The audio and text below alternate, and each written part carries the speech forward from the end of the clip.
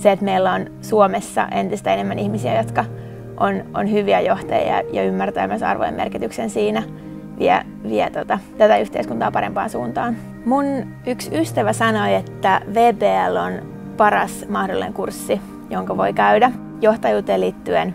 Mä uskon vahvasti, että kun ollaan paremmin tietoisia niistä omista arvoista, niistä pystyy keskustelemaan, niin saadaan myös parempia johtajia ja parempaa yhteiskuntaa aikaiseksi. Arvopohjaisessa johtajuudessa ja sen kautta johtamisessa mua itseäni viehättää myöskin se tietyn tyyppinen vaistopohjainen johtaminen, mikä se mahdollistaa. Eli kun ne arvot on siellä syvässä ja henkilökunta y- ymmärtää ja tietää, tietää ne, niin, niin pystytään kollektiivisestikin toimimaan aika lailla vaistonvaraisesti, koska jaetaan ne yhteinen käsitys siitä, siitä arvopohjasta ja se mahdollistaa niin kuin tavallaan nopeamman reagoinnin asioihin kun johdetaan arvopohjaisesti, otetaan huomioon se, että mit, miten henkilö, erilaiset henkilöt ajattelevat ja toimivat erilaisissa tilanteissa.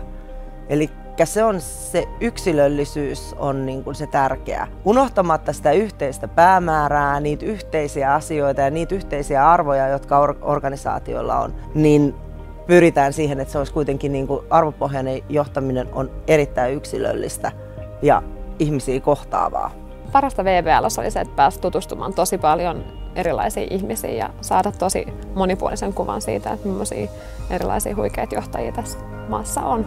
Ja mä totesin, että tämä kurssi kuulostaa mulle sopivalta paikalta ja päätin laittaa silloin viisi vuotta sitten hakemuksen sisään ja pääsin kurssille ja se on ollut mulle tosi, tosi iso juttu myös myöhemmän elämän kannalta.